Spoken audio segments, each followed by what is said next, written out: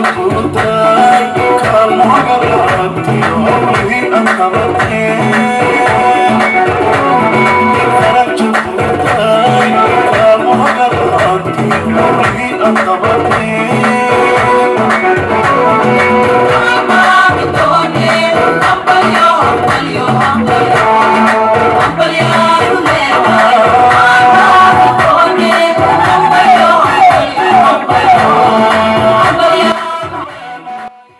mas'uuliyiin kala duwan kana tirsan dowladda federaaliga ee soomaaliya. Sida xildhibaanada labada gole ee baarlamaanka qaar ka mid ah golaha wasiirada duqa caasimada muqdisho ku-xigeenadiisa gudoomiye ku-xigeenka koowaad ee golaha shacabka gudoomiye ku-xigeenka labaad ee golaha aqalka sare aqoon-yahano nabadoono siyaasiyiin ururada haweenka ganacsato bulshada qaybahooda kala duwan fanaaniin iyo marti sharaf kale ayaa munaasabadan ku sugnaa.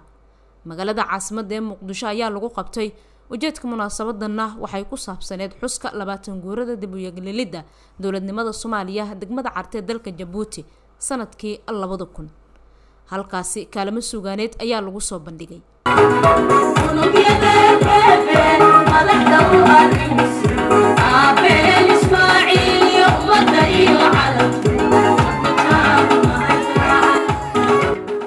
ugu horeyn waxaa hadlay xildhibaan cabdi cali kana sheekeynaya dowladnimada hadda la haysto iyo dhibaatadii laga soo maray shirkii carte. Walaalayaal dowladnimadan marka meesha laga keenay oo doctor baadiyow iyo doctor imaan iyo aqoon-yahanadii u gogol xaaray ay fadhiyaan maanta meeshaan ee shirka carte in la qabto iyo raggii dhiigooda u huray ee u dhintay ee ay ka mid mid ahaayeen generaal xayd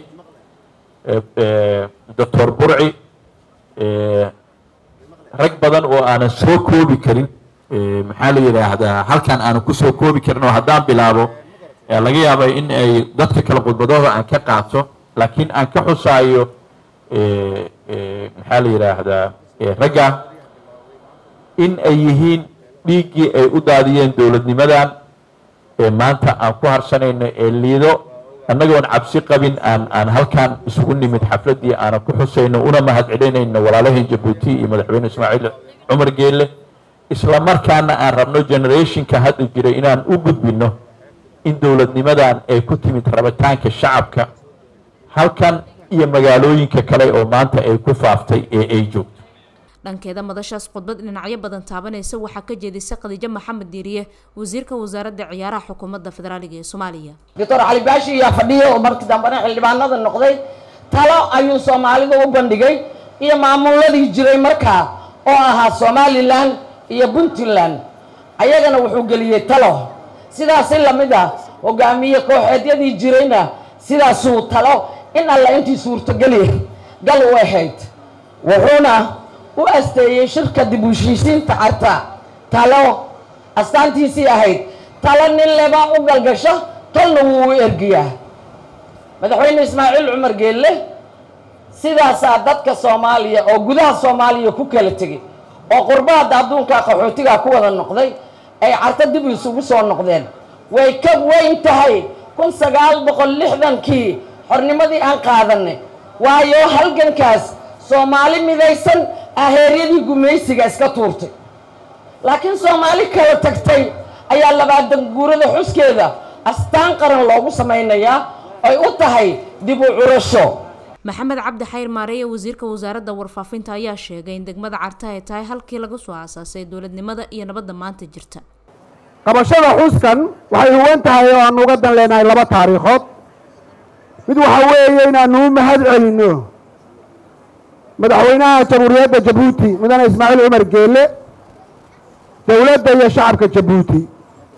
Oo sidaa la sheegay toban sano oo dowlad shaqaynaysaa soomaaliya aanay ka jirin saddex iyo toban shir oo shaqayn waayey qabtay shirkii carte.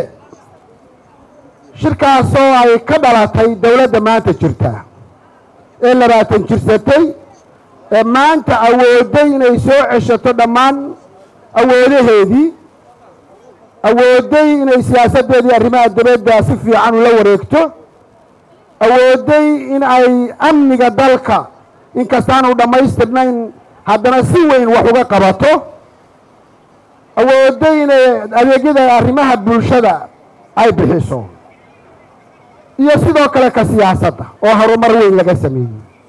Dowladdaa soomaaliyeed ee maanta buuxda meeshii lagu soo dhisay in loo mahad celiyo dalka jabuuti. Gudoomiye ku-xigeenka koowaad ee golaha shacabka muudey waxa uu carabka ku dhuftay maadaama xildhibaanada ay meelmariyeen. Matalaada gobolka banaadir uu ku yeesha aqalka sare. In sidoo kale ay ku howlan yihiin sidii meel loo saari lahaa loona caddeyn lahaa maqaamka caasimada ee muqdisho. Waxaan fiirsanaya maanta banaanbax ay samaynaysay dadka ku nool magaalada muqdisho. Maxay u banaanbaxayeen wax yar oo la sameeyey waay waxay u banaanbaxayeen wixii weynaa ay nugu lahaayeen aawe. Waa mahadsantihiin waxa yar ood naga heshe aada naga hesheen haddaa u bannaan baxdeen. Wixii ka weynaayna waa naga soo socdaan waa naga hela dootin insha allah hadduu ilah yidhaah faadimo cabduqaadir xasan t v-ga shabeelle muqdisho